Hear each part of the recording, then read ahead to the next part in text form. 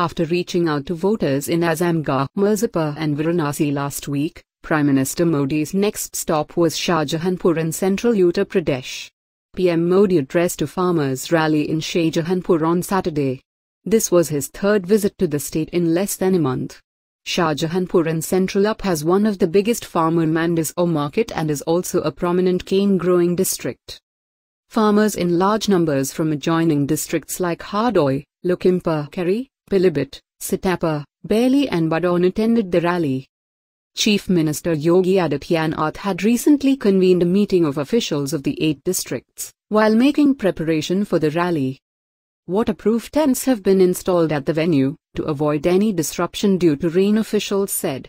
Earlier this week, around 90 people were injured during PM Modi's rally in West Bengal, as a marquee collapsed on a section of the crowd in the middle of his speech. Sugarcane dues were a major factor in BJP's loss in Western UP, in the bypolls held in May this year. The Narendra Modi government has announced a huge Rs. 8,000 crore package for sugarcane farmers and also recently increased the minimum support price on sugarcane for the coming season. The sugarcane dues in UP however, stand at over Rs. 10,000 crore at the moment and the Yogi Adityanath government has not been able to keep its promise of clearing cane dues within two weeks, last year, after he was sworn in as chief minister. In his last rally in Azamgarh a week ago, PM Modi had launched a scathing attack on the opposition, by raking up the claim that Rahul Gandhi had recently called the Congress a party of Muslims.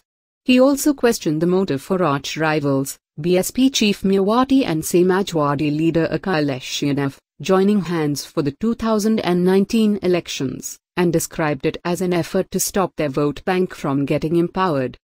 3 comments. Today's rally will be PM Modi's first public address after leading his party to victory in the no confidence motion in Lok Sabha yesterday.